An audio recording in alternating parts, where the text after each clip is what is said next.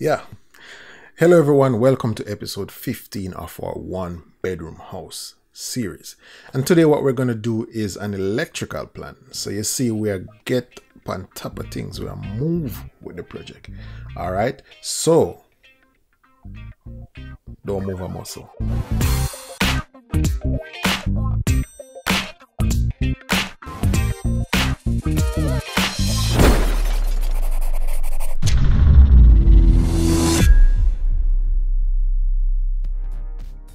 If you're new here, we've been doing a one bedroom house from scratch and we're trying to produce all the drawings that are necessary for approval. We're going to produce views and we're going to also put them on sheets and we're going to print them and we're going to maybe I'll submit it. What do you think about that? I could actually do a video on all of that, but um, we'll see. We'll see. If you want me to do it, just comment it down below or hit the like button. We see we see how that goes. Um, now remember that I'm doing these drawings based on Jamaican standards. So the way I do these drawings, you know, it might be a little or might be very, very different depending on where you're from. But I do hope that um, you learn something nonetheless and that you will find some value in these videos. If you actually learn something, you could just, you know, hit the like button and consider, just consider subscribe. All right. Respect.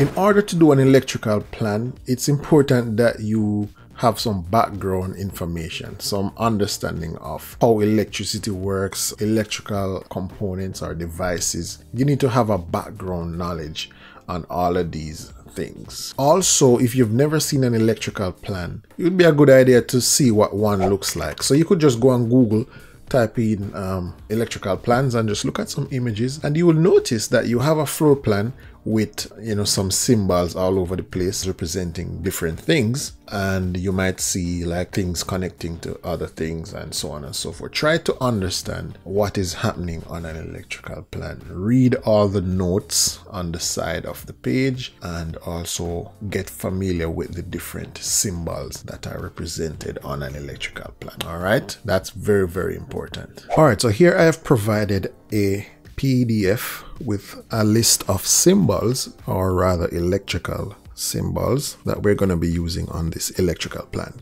And of course, this list is very limited in comparison to the amount of symbols that are available to use.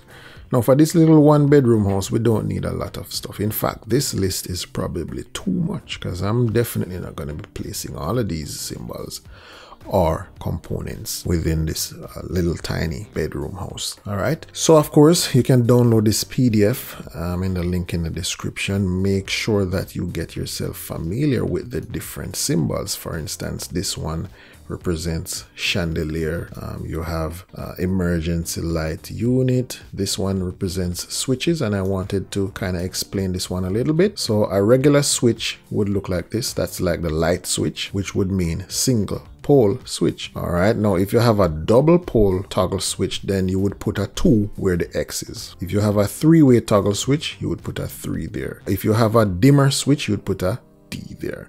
All right. So these can become important as you do your drawing depending on what your project requires. Likewise, when you go up to outlets or electrical plugs, um, when you have a regular outlet, it's normal. But when you add a subscript to it, then it means that that subscript represent whatever is over here. All right. So for instance, a ground fault circuit interrupter, this one would be placed in like your kitchen or in the bathroom where there might be uh, water getting in contact with electrical equipment like your hair dryer or your blender stuff like that. You have waterproof as well. These are mostly used outdoors. So all of these um, abbreviations would go underneath the plug to represent respectively. And then you have other symbols like usb outlet television outlet. You have panels. Um, you have even security cameras. All right. So a nice little list here that we can use on a wide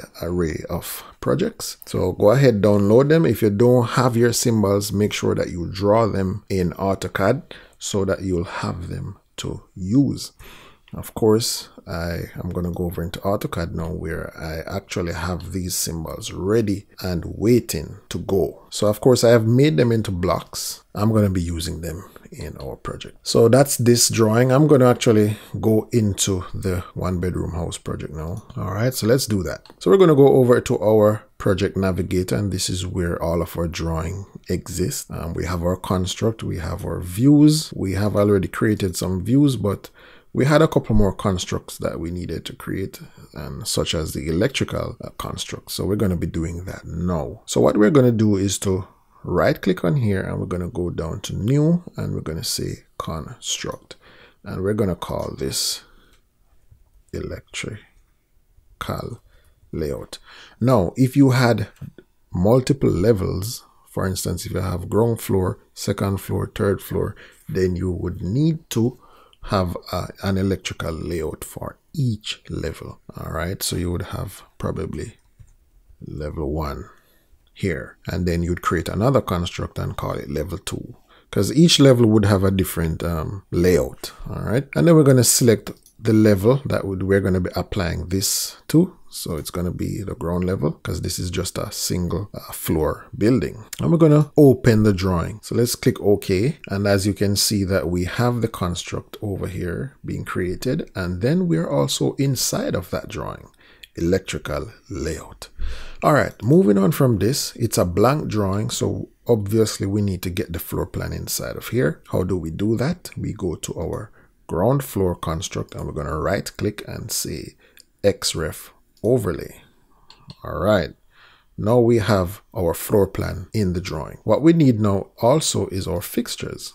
All right. So we're going to right click overlay now we can see where everything is so we can properly lay out our electrical devices. Okay, so I'm going to minimize this because I don't need that anymore. And then I'm going to actually turn off a couple of these layers because I don't want to see them. So I'm going to click on this little guy here called freeze. I'm going to freeze that and I'm going to also freeze this. And I think I will keep everything else for now. All right, so let's leave it there. The next thing we're going to do is to create some layers. All right, so if you don't know where your layer property is, it's right here. Click on that guy and it should bring up. All right, so here's my layer property and I'm going to actually create some layers. So I'm going to call this new layer E light. Make that green. Of course, you can choose your own color. Um, that's no, that's not a hard rule right there. I'm going to call this one E power and I'm going to explain to you why I'm giving, uh, why I'm creating these layers and why do I call it uh, what it is. I'm going to create another one, call it E data. By the way, the E stands for electrical. All right. And I'm going to make this magenta. Line weight is 0.09. Then I'm going to create one last one. I'm going to call it E dash wire.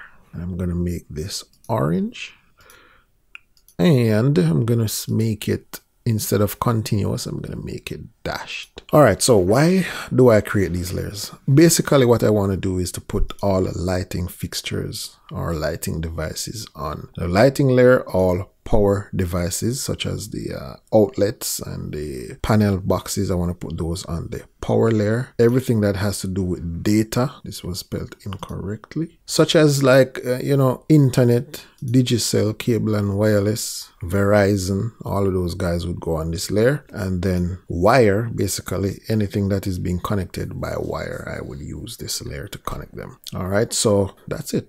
So let's go over now so what we want to do is to get our blocks over here into our electrical drawing. What do you think is the easiest way to do it? Of course, the easiest way would be to just copy the whole thing and bring it over. But what if I told you that there was a more efficient and effective way to do it? And in order for this to work, what you have to do is to make sure that you have all of your blocks in one drawing. Okay, now if you notice, my blocks are named properly. Um, if you click on any one of these blocks, they are properly named. So make sure you name them and you give them a base point. So any one of my blocks that you click on, you'll see that I have a base point on them. Once you have them all in one drawing, you save that drawing, save it, go over to your electrical plan, and we're going to open the blocks palette. So type in the command blocks palette. Here it is. Click on it and it will bring up your blocks palette. And here, as you can see, we have three tabs on the left here, we have current drawing showing you all the blocks that are available in this current drawing. We have recent, which is showing you whatever you have used recently and other drawings. Now, if you notice, I already have these loaded in, but if you didn't have anything here, what you would do is to click on the three dots and find your drawing that has all the blocks inside of it, which would be this guy over here. You would then go ahead and press open but of course I would have already loaded it in so it is in and actually I made some settings changes down here which I will be explaining in a couple of seconds. The good thing now is that we can use all the blocks from this drawing inside of this drawing. And the beautiful thing about that is, let's say I drew this one incorrectly, but guess what? I would have already placed it all over in this drawing. Instead of deleting all of them and redoing it, what I would do is to go over to this drawing, make the change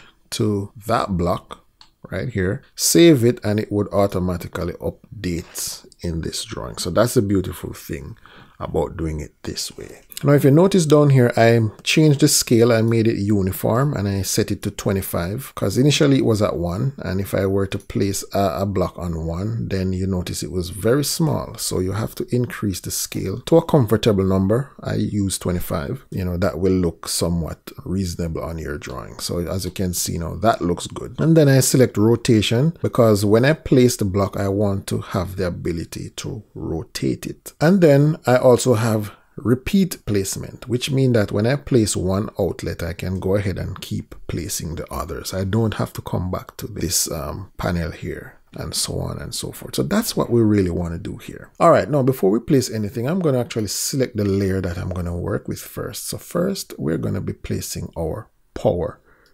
devices, which would include outlets and panel boxes. So the first thing I'm going to place is a panel box, which is this guy here. And I'm going to use a flush one. So that means this one will be flushing with the wall and it's a 240 volt. For most households in Jamaica, we don't use more than 240. And I'm going to place my panel right here in the kitchen. Um, it's not the best location, guys, I know, but for a house like this where I don't even have uh, much space, um, that's probably one of the best place to put it. You don't want to put it where you're going to have high traffic and you don't want to put it where kids and so on can grab it. Um, but in this case, this is just a one bedroom house, and I would assume that mostly adults would be using this uh, one bedroom house. Again, it all depends on the purpose of the building. All right, the next thing we're going to place are some um, duplex outlet, and duplex is the regular plug that you see on your wall every day. Okay, guys, so we're going to drop some duplex. Let's start in the bedroom. You know, you have to place one beside the bed because guess what? If you don't you know the phone now gonna get charged. So that's that. We're gonna place one underneath the uh, the computer desk. And if you notice I kind of place it in the middle of the wall or in the middle of the window likewise for that one. It doesn't always have to be like that you know. It's up to you. Now if you notice I can rotate when I place. And that is why we select the rotation option down here. If you notice I, I, I want to make it straight down I can turn on the ortho mode to get that, that function. All right so I have three outlets in this room. I don't think I need anything else. I'm gonna place one on the veranda or the porch. Of course we're gonna be making that one waterproof in a little bit. I'm gonna place another one right on this side of the couch and I'm gonna place another one on this side of the couch too. Maybe what I'll do is place this one no yeah. I'm gonna place this one here. I'm gonna place one behind that and I'm gonna delete this one. Then I'm gonna place one here for the TV okay you know where to plug in the TV I'm gonna place one here for the refrigerator. I'm gonna place one here just in case we have an electric stove. And then I'm gonna place one on the countertop all right. I'm going to also place one here for all the guys who like to shave and all the ladies who like to blow their hair. You need a plug also right. So i think we have enough outlets at the moment.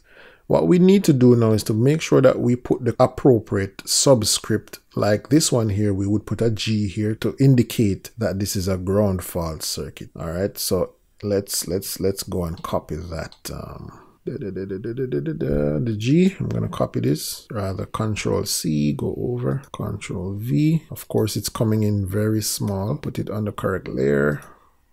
And I'm going to scale it up a little bit. Let's make it 25. Enter.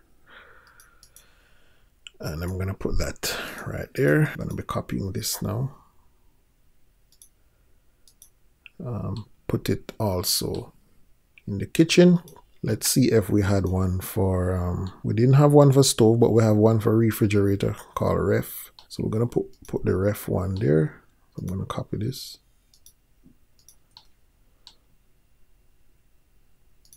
And i'm gonna put ref and uh, I'm to copy that. We're to put a waterproof one here.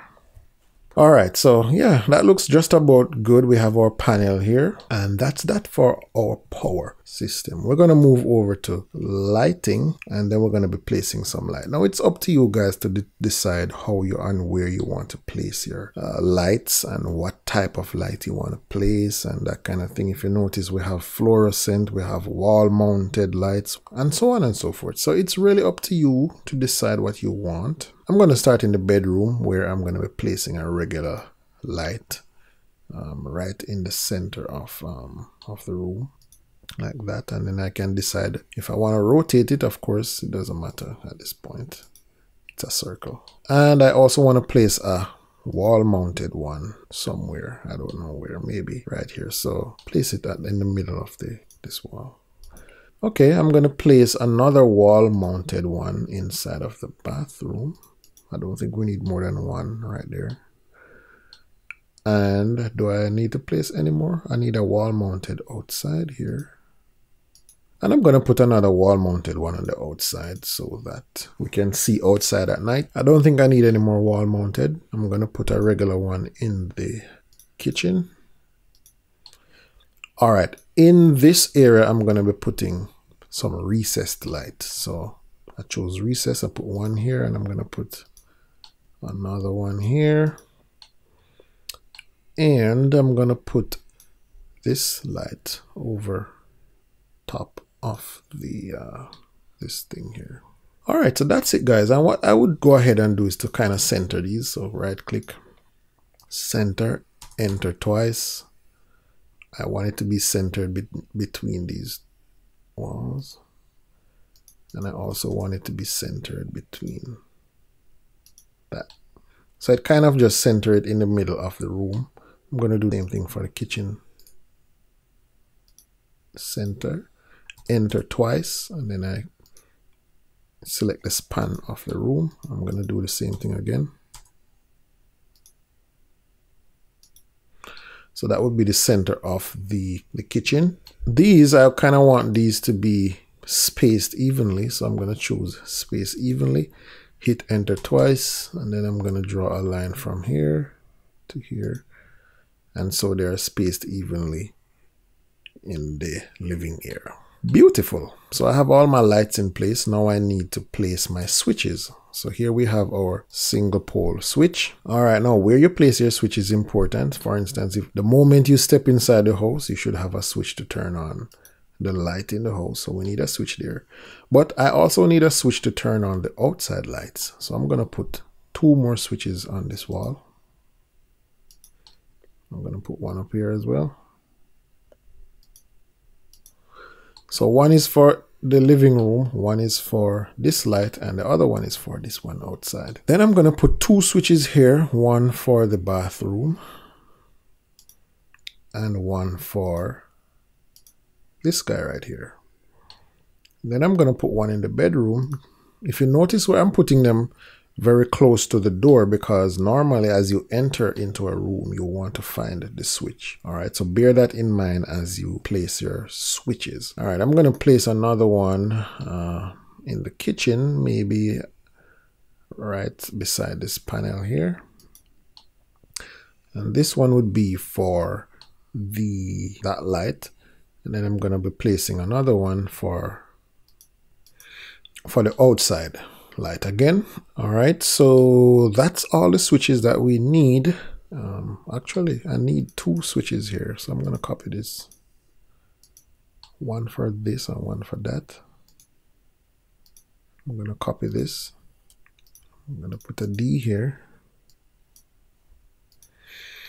And I'm going to also place this on the lighting layer. Alright, if you notice guys, this video is getting long and that's my problem. I'm to keep this at one switch. I'm to use one switch to turn on the outside light. But I think we have all the switches we need so far. Um, yeah.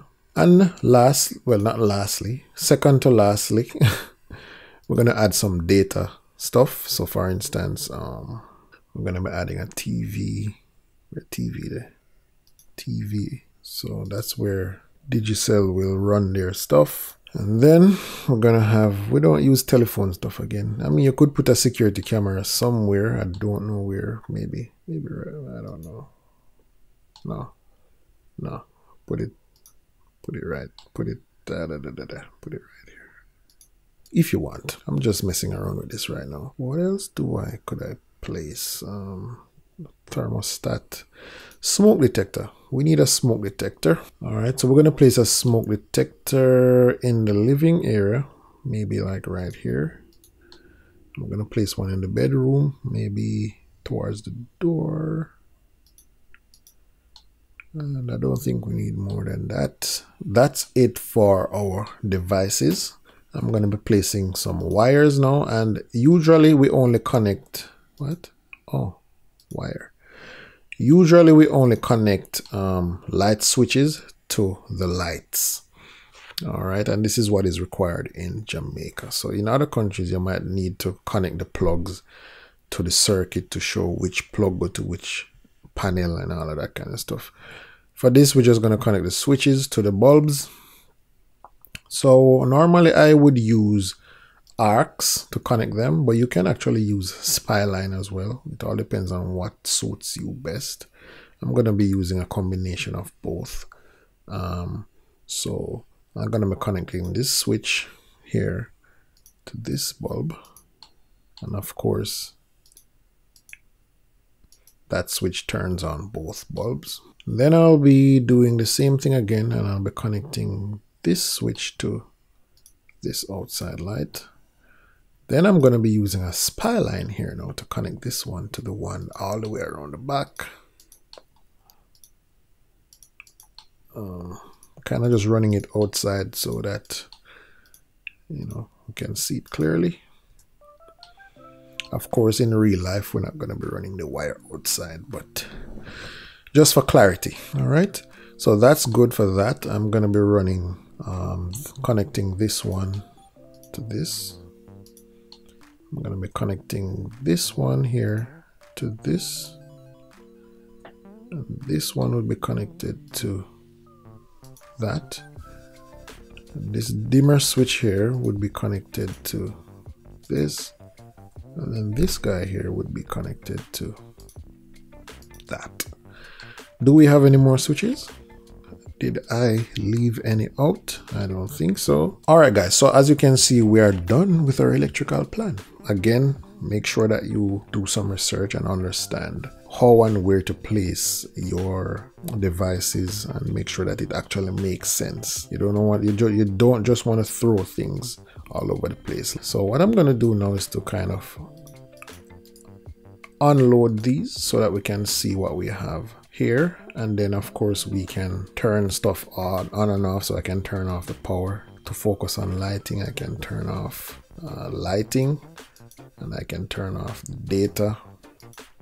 Stuff like that. So this is what our electrical system will look like and we're gonna save. Now remember we do not add annotations to this drawing because this is just a construct. All right so we're not going to be adding any annotations here I'm gonna reload these and leave it right there. Alright guys, so that wraps it up for this video. Um, I do have these blocks available, um, the CAD file that is, on my Patreon page. So for those of you who don't know, I have a Patreon page that you can check out. I will be dropping a lot of CAD files over there, especially those that I do on videos. I'll post them over there so you can get them for download. And also, if you'd like to support the channel, uh, you like what you see and you enjoy the videos, you get a lot of value from it, then, you know, feel free to support the channel on my Patreon page. All the links are in the description, so definitely check it out. And don't forget to hit the like button, don't forget to subscribe, and don't forget to follow me on Instagram. All right, so take care of yourself, and I'll see you in the next video.